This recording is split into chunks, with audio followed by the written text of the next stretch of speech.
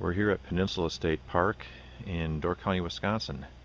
Just packing up after being out here for a few days.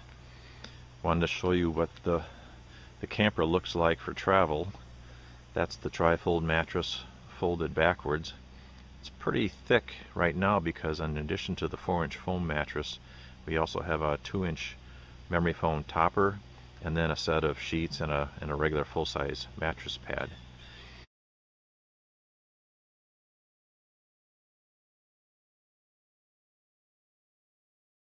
The left and right legs are detached and they're laying on the ground there.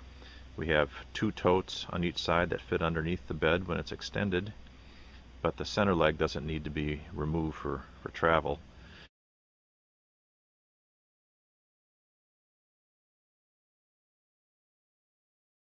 So underneath the bed is the is the platform that forms this front part of the bed. In the back is the kitchen, all folded up for travel. You can see on top is the seven gallon water jug. We rarely have more than three or four gallons of water in there because we're not out in the boondocks. We're not trying to survive for a week at a time. We can always get water every day if we need it in the campgrounds or um, gas stations, wherever. Two burner Everest camp stove, and then that's the kitchen. Uh, right now it's folded up for travel. There's a little shelf there that folds up so let me unfold that for you.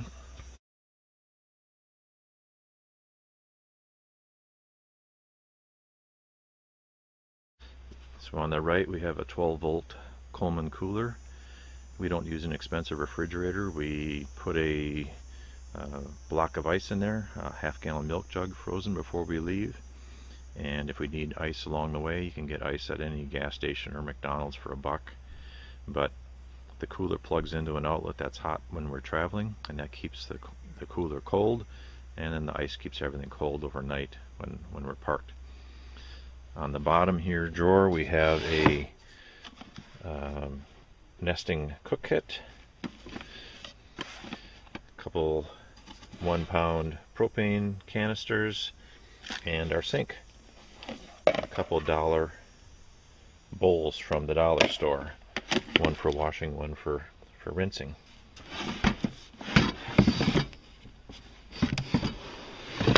On the top is a regular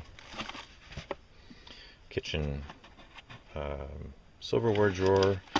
Underneath are other utensils, mixing spoons and can openers and so on.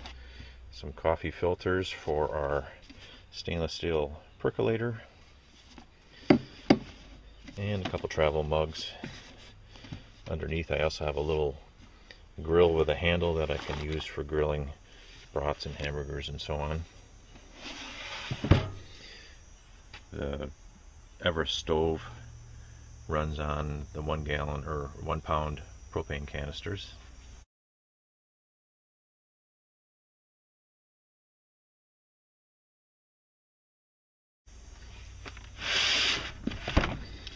and secures